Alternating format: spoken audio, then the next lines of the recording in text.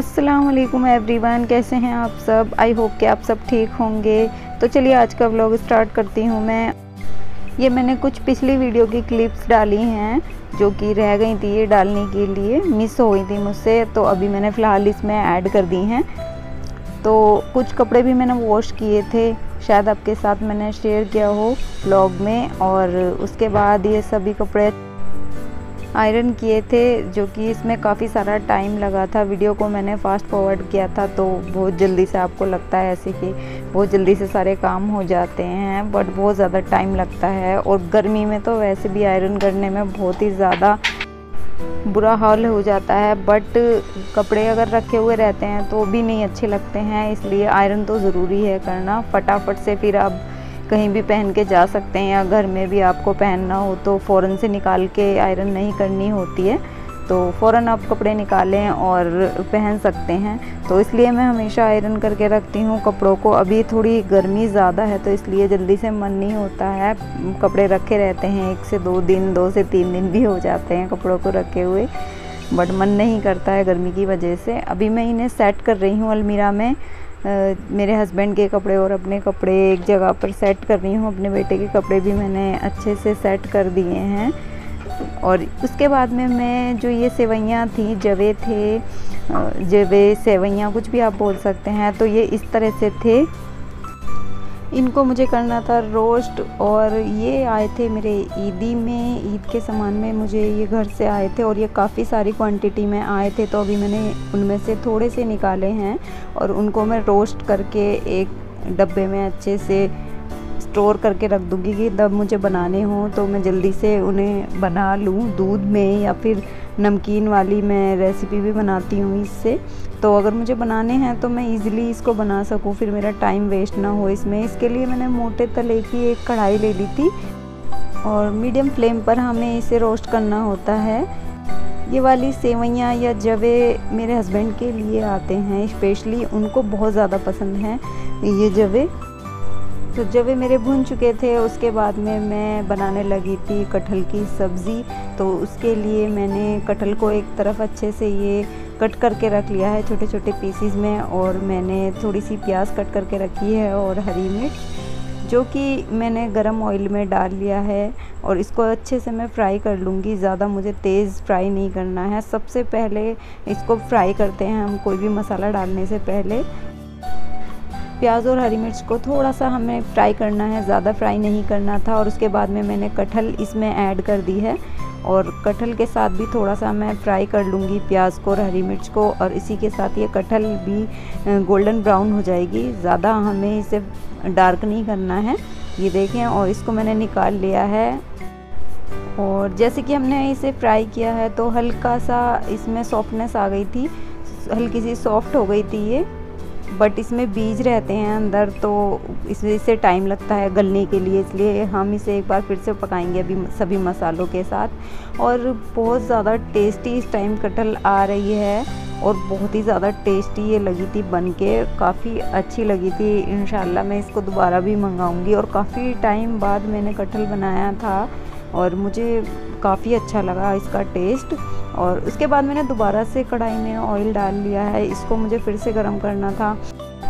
Oil को अच्छा सा गर्म होने के बाद मैंने इसमें ज़ीरा ऐड किया है. और ज़ीरा जैसे ही गोल्डन ब्राउन होगा, उसके बाद में मैंने इसमें गार्लिक और ऑनियन का पेस्ट इसमें ऐड कर दिया है. आप चाहें तो जिंजर गार्लिक का पेस्ट भी ऐड कर सकते हैं. और कटहल मैंने लिया था हाफ़ के जी यानी 500 ग्राम कटल मैंने लिया था और उसके लिए इतनी क्वांटिटी में मैंने मसाला लिया है, थोड़ा सा मसाला और मुझे इसमें ऐड करना है। अभी मैंने जो इसमें ओनियन एंड गार्लिक का पेस्ट डाला है, उसको मैं थोड़ा सा फ्राई कर लूँगी और फ्लेम को मैंने हाई पे रखा है और ताकि इसकी स्मेल अच्छे से निकल जाए, कच्ची वाली जो इसमें स्मेल होती है मसालों में। तो उसके बाद में मैंने इसमें थोड़ा सा जिंजर गार्लिक का पेस्ट डाला था। ये देखें, इसको मैंने अलग से बना के रखा है पेस्ट को। इसको भी मैं किसी चीज़ में मुझे ऐड करना होता है तो इसलिए मैं अलग से इसको पेस्ट को बना के रखती हूँ। और उसके बाद में मैंने इसमें रेड चिली पाउडर ऐड किया है और हल्दी पाउडर मैंने इसमें ऐड किया है। उसके बाद में थोड़ा सा धनिया पाउडर मैंने इसमें ऐड किया है। Salt and red chili powder आप अपने अकॉर्डिंग इसमें ऐड कर सकते हैं। बहुत से लोगों को ज़्यादा स्पाइसी पसंद होता है सब्ज़ी। आप अपने अकॉर्डिंग रेड चिली पाउडर इसमें ऐड कर सकते हैं बट मैंने वन टेबल स्पून इसमें ऐड किया था रेड चिली पाउडर आप अपने अकॉर्डिंग कम या ज़्यादा कर सकते हैं। और सभी मसाले अच्छे से भुनने लगे हैं, ये देखें मीडियम फ्लेम मैंने कर दिया है गैस का, नहीं तो ये सारा मसाला नीचे लग जाएगा। इसलिए गैस की फ्लेम को मैंने मीडियम कर लिया है और अभी मसालों में कुछ कच्ची स्मेल आ रही थी। मुझे तो थोड़ा सा पानी मैंने इसमें और ऐड किया है और थोड़ा सा मैं अभी इस मसाले को और पकाऊँगी। ये देखें, अच्छे से एक बार इसको पका लूँगी और मसाला अच्छे से भुन चुका है, सारा पानी एब्जॉर्ब हो चुका है और उसके बाद में मैंने इसमें कटहल ऐड कर दूँगी और कटहल को अच्छे से सभी मसालों के साथ मिक्स कर लूँगी मैं। ये देखें और बहुत ही अच्छे से इसको मिक्स करने के बाद में थोड़ा सा मुझे इसमें पानी ऐड करना है क्योंकि ऑलरेडी कटहल पहले से ही सॉफ्ट हो चुकी थी जब मैंने इसको फ्राई किया था। प्याज और हरी मिर्च के साथ जब मैंने इसको फ्राई किया था तो थोड़ी सी सॉफ्ट हो चुकी थी तो इसलिए अभी मैं इस, पहले अच्छे से मैं सारी कटहल को मसालों के साथ मिक्स कर लूँगी इस तरह से। पाँच से सात मिनट के लिए मैंने कटहल को अच्छे से मसाले के साथ मिक्स कर लिया है इस तरह से। और इसके साथ भूनते जाऊँगी और उसके बाद में मैं इसमें पानी ऐड करूँगी। ये देखिए कितनी अच्छी लग रही है बट अभी ये कच्ची है, अंदर से अच्छे से पकी नहीं है ये। ये देखें, बहुत टाइट है अभी। उसके बाद में मैंने इसमें थोड़ा सा पानी ऐड किया था, जिससे कि ये गल जाए। सिर्फ़ इतना ही पानी मैंने इसमें ऐड किया है। ये देखें, इसके बाद में मैं थोड़ा सा इसको अच्छे से मिक्स करने के बाद में मैं लिड से इसको कवर कर दूँगी और कवर करके मुझे इसे पकाना है और ये देखें लीड से मैंने इसे कवर कर दिया है और सात से आठ मिनट के लिए मैं इसे पका लूँगी अच्छे से। और कटहल मेरी बनकर रेडी है, ये देखें, और अच्छी तरह से ये गल चुकी थी और मैंने हरा धनिया लेकर थोड़ा सा स्प्रिंकल कर दिया था, ये देखें ऑयल इसमें ऊपर आ गया है। ये देखें, काफ़ी टेस्टी ये बनकर रेडी हुई थी। और ये अच्छी तरह से गल चुकी है एकदम। ये देखें। इसमें मैंने हरा धनिया कट करके रखा था, जो वो मैंने इसमें ऐड कर दिया है।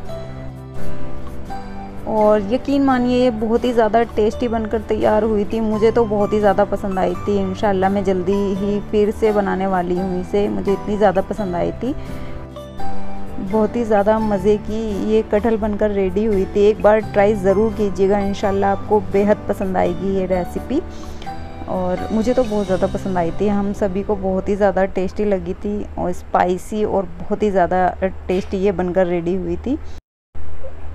उसके बाद में हमें खाना था खाना तो मैं इसको करने लगी थी डिश आउट ये देखें, ये देखने में भी काफ़ी अच्छी लग रही थी। अगर आप इस रेसिपी को ट्राई करें तो प्लीज़ कमेंट बॉक्स में ज़रूर बताइएगा कि कैसी लगी। और कटहल के साथ इसके बीज भी काफ़ी अच्छे से पक चुके थे और वो भी बहुत ही ज़्यादा टेस्टी लग रहे थे।